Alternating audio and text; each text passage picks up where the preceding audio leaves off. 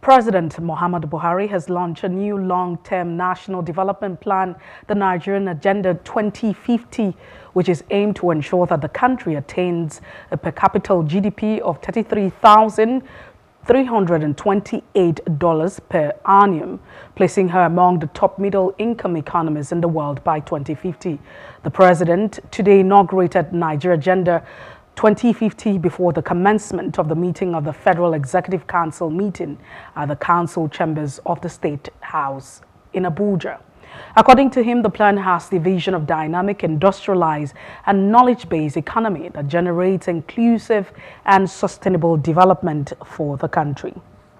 The steering committee is the superintendent the preparation of the Nigerian Agenda 2050 and the National Development Plan 21-25 to succeed the Nigeria Vision 20 2020 and the Economic Recovery and Growth Plan 2017 2020 respectively.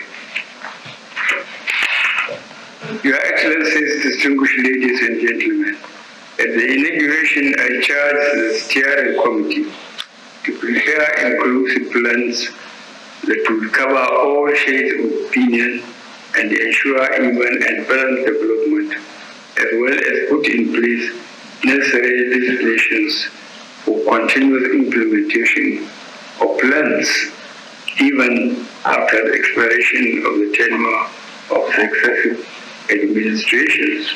This was achieved with the preparation of the Volume 3 of the National Development Plan that deals with legislative imperatives were identified binding constraints to plan implementation in Nigeria.